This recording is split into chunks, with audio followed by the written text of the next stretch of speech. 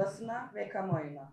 Patriarkanın hayatlarımızı ağ gibi sardığı, hayatımızın her alanını cehenneme çevirdiği, yaşamak için her nefes alışımızın bir mücadeleye döndüğü bu günlerde baskılarla, sansürle, hak gasplarıyla mesleğini icra etmeye çalışan kadın artı gazeteciler, uzun mesai saatlerine eklenen düşük ücretler ile kendi mesleğinde de yaşamak için mücadeleyi sürdürüyor.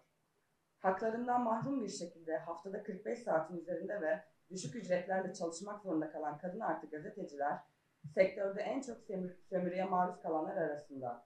Erkeklere oranla güvencesiz bir şekilde çalışan kadın artılar, aynı zamanda meslek hastalığına yakalanmada da yüksek bir orana sahip.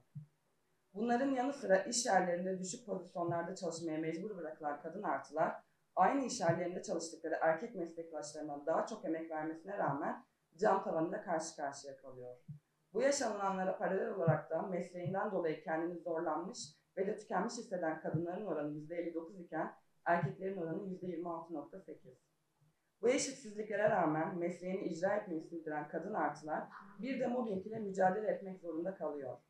Sayısız sıkıntılarla tek başına mücadele etmek zorunda bırakılan ve örgütlenme kanallarının önü işten atılmak ya da hapis gibi cezalarla kesilen kadın artı gazeteciler yalnızlaştırılıyor.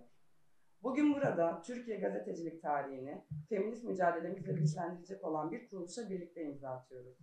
Kadın artı gazeteciler olarak mücadelemizin önündeki en büyük engel olan örgütsüzlüğümüze son vermek ve eril medyaya karşı yan yana, omuz omuz olmak için kentimizde attığımız adımı sizlerle paylaşmak istiyoruz. İktidarın erkek politikalarından destek alan eril patronların sardığı mesleğimizi yapmak adına her türlü baskıya ve zorbalığa karşı bir arada durmak ve birlikte güçlüyüz diyebilmek için Mersin'de Kadın Gazeteciler Derneği ile hem meslek onurumuzu korumak hem de mesleğimizi meslek etiği çerçevesinde icra edebilmek için bir yola çıktık. İş yerlerimizde ve meslek hayatımızda yaşadığımız tüm eşitsizlikler, cinsiyet temelli adaletsizlikler, mobbing ve hak ihlalleri karşısında kadın gazeteciler olarak örgütlü, örgütlü mücadelemizle var olacağız. Eril zihniyet ile sarmalanmış haber diliyle, ataerkil düzenin geliştirdiği toplumsal normlarla, sermaye ve erkek işbirliğiyle, patronlarla ve patronların sırtını sıvazlayanlarla mücadele edecek olan bizler olacağız. Eril medyaya karşı feminist basın diyerek çıktığımız bu yolda mesleki dayanışmayı, kadın ve LGBTİ artı gazetecilerin haklarını, cinsiyet eşitliğine dayanan haber dilini ve mesleğimizi omuz omuz öreceğiz.